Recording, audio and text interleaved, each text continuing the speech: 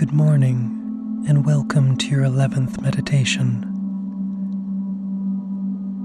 How many times have you told yourself that you'd like to learn another language or take up piano? Most of us fantasize about learning new skills, yet never seem to get around to doing it. Many of us start, but feel discouraged when it doesn't come easily we rationalize that it's too late, that maybe we could have been good if we had started when we were young. But what's the use now? That only children are truly capable of learning new skills. But consider for a moment three important differences between how children learn and how adults learn. The first is time. Adults often struggle to fit new things into our already busy schedules. And even if we do fit a new activity in here and there, it can be difficult to integrate it into our already established routine. Children, on the other hand, go to school every day for many of the new skills they learn. And their schedules tend to be more malleable than ours. And so, if they really want to learn something new, they're perfectly willing to clear all other appointments to do so.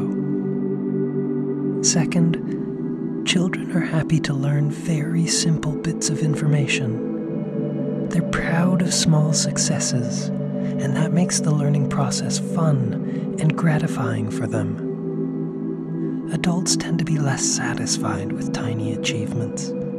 Rather, we too often expect ourselves to be really good at a new skill after a really short learning period, and so set ourselves up for discouragement and failure. And these unrealistic expectations lead to the third and perhaps most important main difference between how adults and children learn inhibition.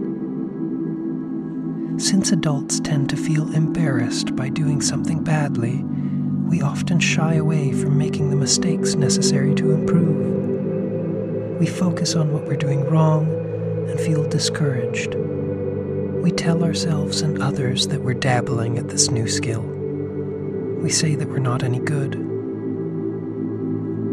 Now look at children learning something new. They completely butcher it they don't care one bit. More likely, they're proud of what they've done because they acknowledge that they've done something that they have never done before. When a child paints, they're not comparing their painting to the whole history of art. They've never seen any of it, so why would they care?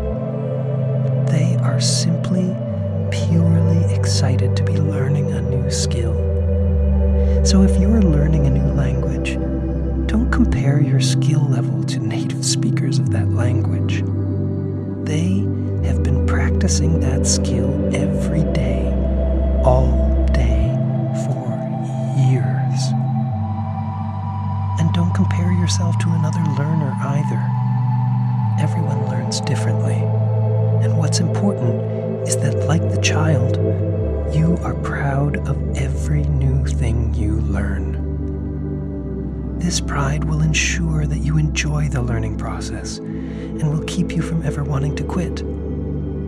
It's never too late to learn. So, whatever you're learning, keep it up. You're doing great. Have a wonderful day.